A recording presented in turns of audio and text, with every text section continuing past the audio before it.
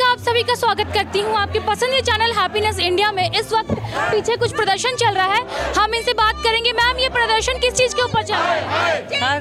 ये प्रदर्शन किस चीज़ के ऊपर चल रहा है? घर के घर के बदले घर। अच्छा घर। को ना एक साल हो चुका है। 10 फरवरी 2022 को हमारे हमारे छः मालिक गिर गए थे। उसमें दो लोगों की डेथ भी हुई। हमें कई बार आश्वासन मिला कि हमें घर मिलेंगे रिकन्स्ट्रक्शन होगी बिल्डिंग लेकिन ऐसा हुआ नहीं अभी तक। तो इसी की डिमांड हम कर रहे हैं कि एक साल में हमारे साथ खिलवाड़ हुआ और कुछ नहीं हुआ। तो हम डिमांड करते हैं कि हमारी बिल्डिंग को रिकन्स्ट्रक्ट करके हमें पुनः घर दिया जाए। जी। बहुत बहुत शुक्रिया। तो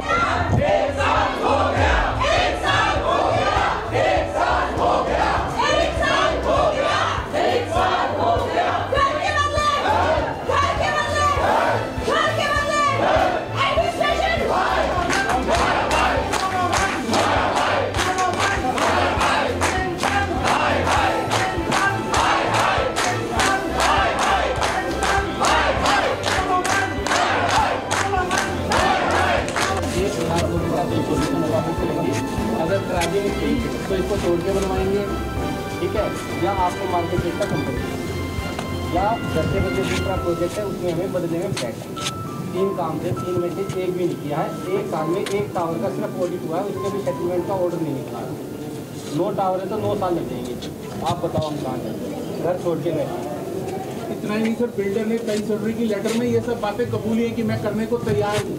सिर्फ़ आपकी तरफ़ से ऑर्डर निकलना चाहिए दबाव बनना चाहिए वो खुद लिख के दे रहा कि मैं करने को तैयार हूँ। फिर किस चीज़ की देरी है या रुकावट है? प्रशासन के सारे आदेश जो है वो वो बिल्डर रहते हैं। वो डीसी साहब से हमारी नाराज़गी है उन्होंने तोड़ने का ऑर्डर तो निकाल दिया। बनाने का भी साथ में बोलते थे demolition and reconstruction plus rehabilitate यही कह रहे हैं हम कुछ वो थोड़ी कह रहे हैं। आप घर को हमारा तुम्हारे इसका पैसा दिया है। एक्सक्यूज़ मी मैम मैम अभी आपने डीसी साहब आए थे उन्होंने क्या आश्वासन दी?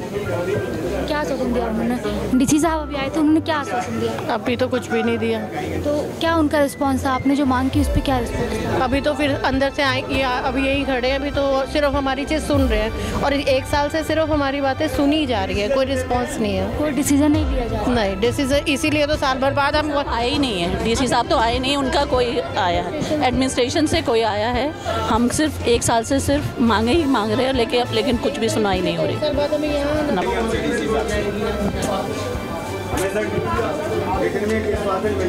हमें जो नेक्स्ट ऑर्डर आए वो के साथ हमें इसके साथ आए कि हमें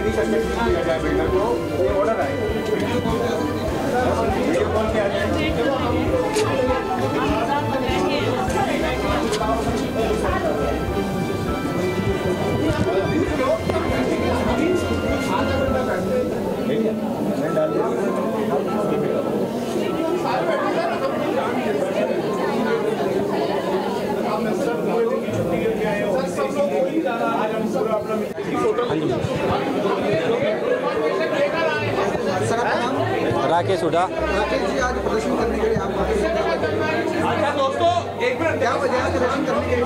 अभी एक साल हो गया हमारे घर टूटे हुए हैं और उसके बाद इन्होंने बोला था तीन महीने में हम टेस्टिंग करके पूरी सोसाइटी की और बता देंगे कौन सा घर रहने लायक है कौन सा रहने लायक नहीं है। आज एक साल हो गया सिर्फ़ एक टावर की रिपोर्ट आई है बाकी का अभी तक कुछ नहीं किया इन लोगों ने। और उस एक टावर के लोग भी अभी दूसरे फ्लैटों में रह रहे हैं अपना घर छोड़ के उनके लिए कोई सेटलमेंट नहीं की इन लोगों ने। क्या वजह लगती है कि इतनी देरी हुई है?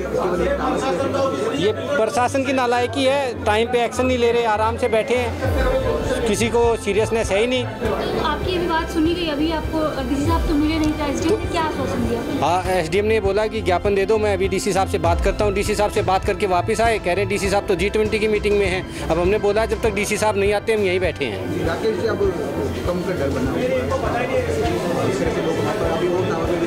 जी वो वो ये जो टर्की में हुआ उसके बाद तो हमारी तो बिल्डिंग और कमज़ोर है। अगर यहाँ पे छोटा मोटा भूकंप भी आ गया तो वो गिर जाएगी सारे ही दबके मर जाएँगे। तो ये बहुत बड़ा दुर्घटना पता नहीं वहाँ पे द्वारका एक्सप्रेस में कितनी ऐसी सोसाइटीज़ हैं। सबके लिए ही प्रॉब्लम है ये।